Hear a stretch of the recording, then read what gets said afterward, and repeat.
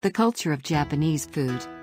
Japan is a long archipelago stretching from north to south, with a wide variety of landforms such as seas, rivers, mountains and plains. Each region has its own climate and climate, and each region has its own unique seasonal delicacies.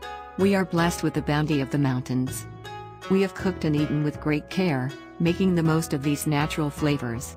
We cook and preserve foods to use them without wasting them, and we also make dishes in containers, in order to enjoy the four seasons. We have taken great care in decorating our rooms and creating special feasts for New Year's and other events. In this way, we respect nature's bounty, while at the same time, respecting the ingenuity that has been handed down in our lives.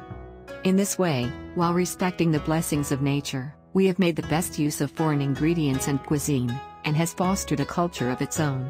This culture has been recognized as the culture of Japanese food, and it has been designated as an intangible cultural heritage.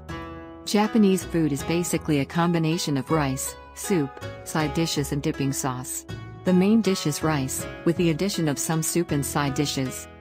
This style of eating is a food culture that has not changed for more than a thousand years. There are also other types of dishes that include rice and side dishes on one plate.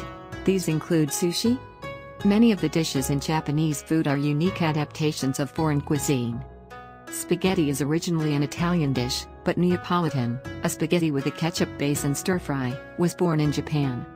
Furthermore, Japan has a distinct difference between the four seasons, and Japanese food has incorporated a variety of ingredients that can only be enjoyed in each season. The Japanese people have a spirit of gratitude and respect for food itself, which keeps them alive. Many of the festivals that remain today include prayers for rice and other crops and for a good catch of fish.